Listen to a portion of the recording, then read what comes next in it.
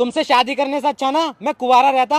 मैं भी अपनी अम्मी की बात मान लेती ना तो अच्छा होता। क्या कहती थी तुम्हारी अम्मी? मेरी अम्मी कहती थी इस लड़के से शादी मत कर। हाँ मैं उस भली औरत को आज तक बुरा समझता रहा जो मुझे बचाना चाह रही थी। सॉरी मम्मी जी। चल घर को तो ये बताता हूँ।